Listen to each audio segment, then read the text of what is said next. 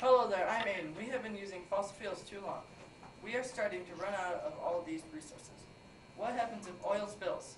We are harming all living creatures, including us. Same with burning coal and wood. It turns into a gas that harms our air. We can stop all of this by using solar panels, windmills, and geothermal power sources. We can use we can save fish, birds, and other animals from dying from oil.